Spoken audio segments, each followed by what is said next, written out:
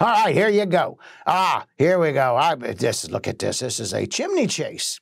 And they used this wonderful vinyl siding and this fluted covering. But look right here.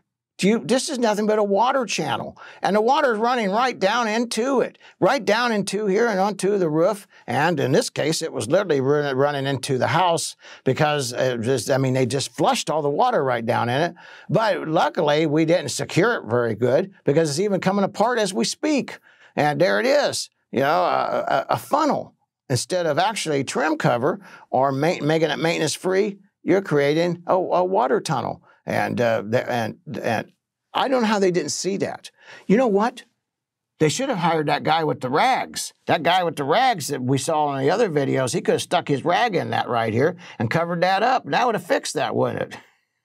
and then we'd be making fun of that.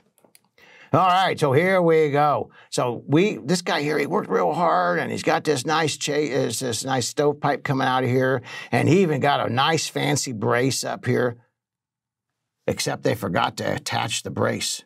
They just wrapped it around, walked away. Uh, what? Yeah, yeah, oh yeah, we it, it's, it's braced. I got to put bracing on it, Dad. Uh, uh, really? Okay, well, about the rest. Finish it. Follow through.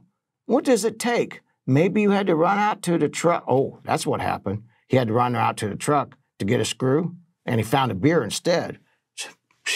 Oh, there it is. And you know, I see that a lot. Believe it or not, where they start it and never finish it, I see it a lot.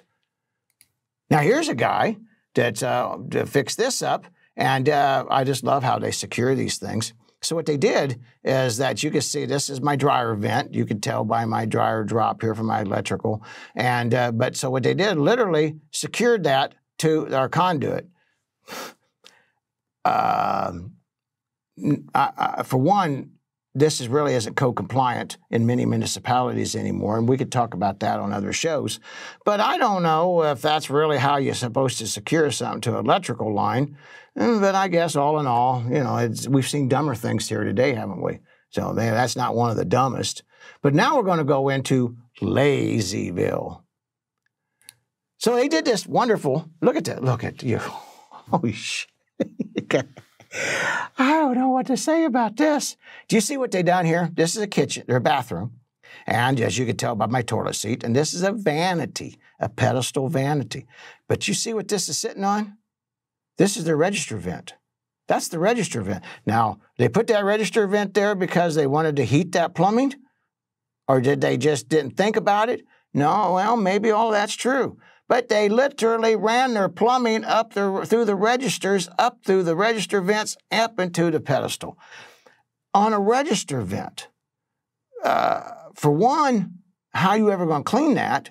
Number two, uh, I don't even know. I don't. I, I don't know what to say. Really? You know, if I would have came home and my wife would have saw that, she'd be having me make that phone call to them people like right now and, uh, and get him back over there. They probably thought that was good, but they passed that off as done. That's my point here. They thought that was done. Uh, somebody's done. All right. Oh, that plumber's done. Er, now, here we go. This is our steel. These are steel beams. In the Midwest, we use in our basements we use a lot of steel on our newer homes. Uh, the old homes use wood, but here's a guy that he put this together and he's trying to join two pieces of steel beams together. Quite common, you know, because steel's so heavy it's hard to pick up one beam. And uh, but look here, we didn't put our bolts in here. We're supposed to. A lot of times we bolt these together and or weld them and or weld them. So he did. He put. The, he got the bolt hole. He just didn't have one here. But look at this weld, you know. And when I looked at it, it really wasn't a weld. It looked what it was. It was caulking. It was caulking, and he painted it, and he tried to make it look like a weld. But he couldn't even caulk it to make it look good. And he's sure if that was a weld job, that guy's fired. I mean, most of that weld's not even touching anything but uh, one beam is supposed to be welding together, two together. Nothing on this side, nothing over here, just on this side, not bolted, not welded, just caulked. But thank goodness we got this one little strap that's holding it together. Really? I hope that you guys ain't having no barn dance up above that there because you're going to shake that beam right on out the side of that building, which actually we see quite often. Not the barn dance, not the barn dancing, but the beam moving. But there it is. Now, oh, here you go. Now, this guy here, he's going to be probably watching this video.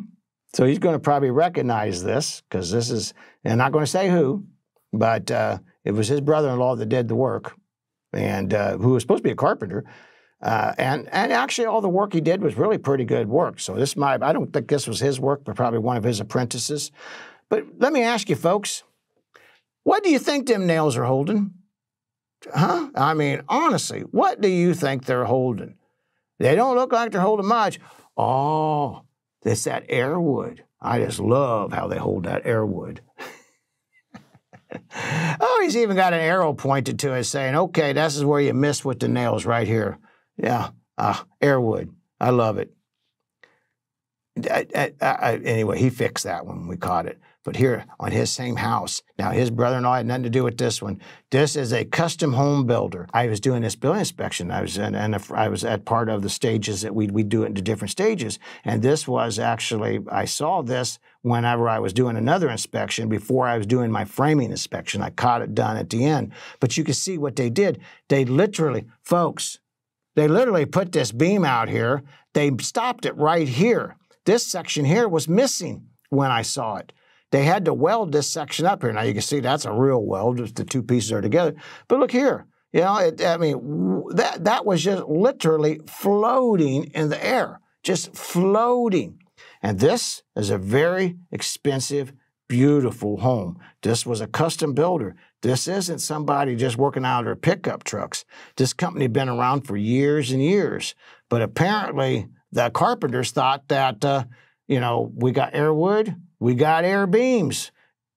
Is there an Airbnb company out there?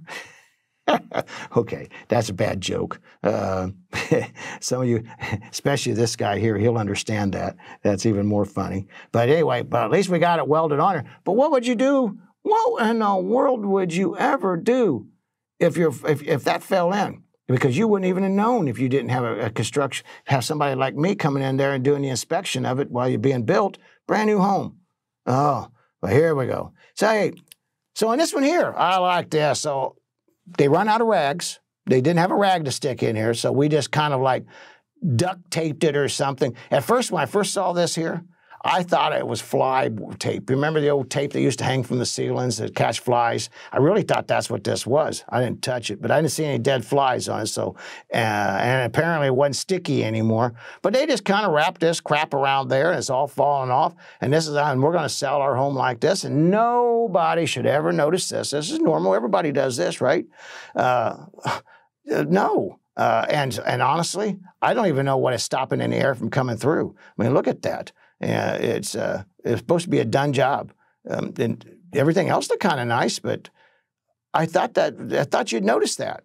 But that's a I think I I think I noticed contractor. He did this job here too. Oh, there you go. I don't know where to run my beams or my my all my ductwork and my HVAC equipment or anything. So I instead of just drilling a hole, I'll just tear my vent open here and I'll just stick it up into the attic that way. That ought to work. And actually, it kind of did, except when I was looking up in the attic, there was squirrels living up there, there was birds living in there. Uh, you know, heck, I was, I was, I, I didn't want to go any further. I had no idea what kind of animal was living in that attic, and so I just let it go. I just said, "Stupid contractor award winner here," and oh, we was all laughing. It was funny. But look at that, they just literally tore the vent. That's my HVAC guy doing this. What? And no, send that man home because apparently he doesn't know how to do HVAC, and I don't think the man's going to be smart enough to put a new vent in. So I, I, you might have to hire somebody else to do that for you. Uh, yeah, no kidding. All right, so here you go. And this is one we just did recently. And look here, this is literally a post and beam, and it's holding up an outbuilding roof. And so I guess what we did is we just found a piece of wood, maybe, or maybe I cut it too short I don't know. You can't outguess stupid, right? Don't even try to outguess stupid. So what we did is we we got a concrete block. You know, of course, that's on piers. You know, like what's the piering? Dirt. That ain't holding nothing. But hey, my concrete block's not big enough, so I put another one. Whoops, too much weight. I cracked it. So I got to add some more concrete blocks. And uh, we can't even lay them square. We can't even lay them so they're even. Uh, so we put them two more. And that's still not enough. So I put another concrete block up here uh, on top of it. That's still not enough for my board cut too short. So I stick up some more crap up underneath it to try to support it. Now, let me ask you I'm coming in late.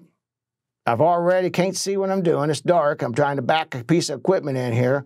Do you think if I accidentally bump into that, that's going to hold anything, or am I going to drop the whole roof down up on top of my head? Uh, both myself and the buyer, when we looked at that, we just shook our heads. Actually, we kind of was kind of scared to get inside the, this uh, uh, this overcovering here because uh, that wasn't the only stupid thing he did. That was just at the beginning. We knew we was in trouble when we got a little bit further with it. So let's move on down. It, we see this kind of bracing all of the time, sadly enough.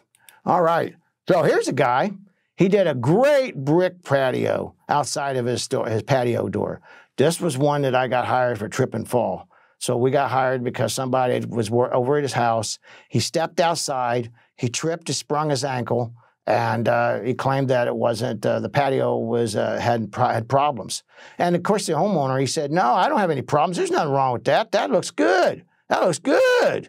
Well, unfortunately, it may he might thought it looked good. I guess uh, beauty is in the eye of the beholder, but uh, even a blind man would think that that looks ugly. I mean, come on, look at that. And I don't know how he didn't trip, but he, hey, at least he's got a doormat here, so as that you have something to step on.